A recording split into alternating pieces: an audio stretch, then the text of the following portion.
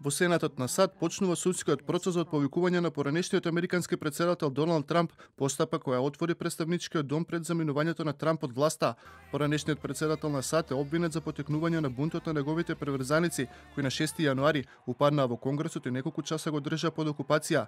Во насилствата, пет лица ги загубија животите. За Трамп да биде осуден потребно е двотретинско мнозинство во Сенатот, односно 67 гласа од сенаторите, што значи дека заедно со сите 50 демократи за импичментот треба да гласаат и 17 сенатори републиканци а изборната комисија на Американската сојузна држава Џорџија и официјално отвори истрага за телефонскиот разговор во кој поранешниот председател прешал притисок врз службено лице да го смени изборниот резултат во оваа држава во која победи неговиот против кандидат Џо Бајден. Добивме тужба и се однесуваме како што би се однесувале во секој сличен случај.